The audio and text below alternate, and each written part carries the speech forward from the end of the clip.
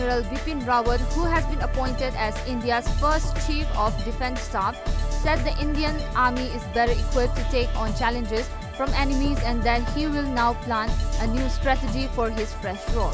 As per media reports, Rawat, who received his farewell guard of honor as the army chief today, expressed gratitude to the soldiers, rank and file of Indian Army who stood steadfast under challenging circumstances.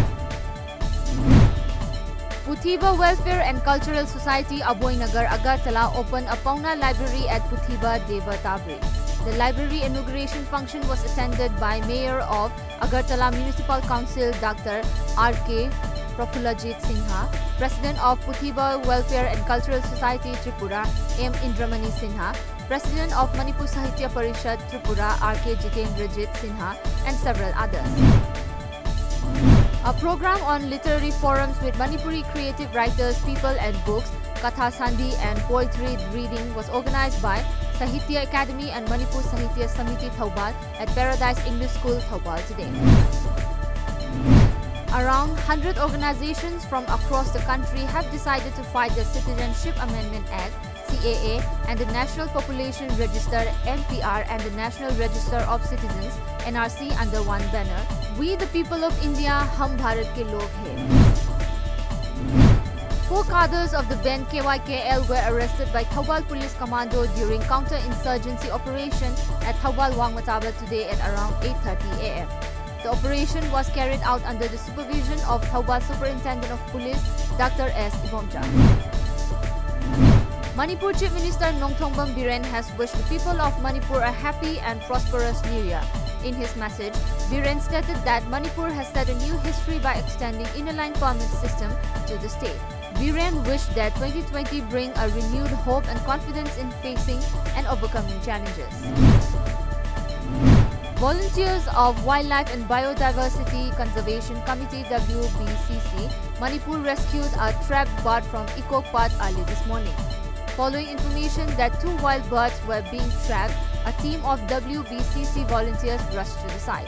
One of the birds was found dead in the trap set by unknown people while the other bird was being given treatment by veterinary Dr. O. Bhagyavati and later released it safely to the open sky, according to a report.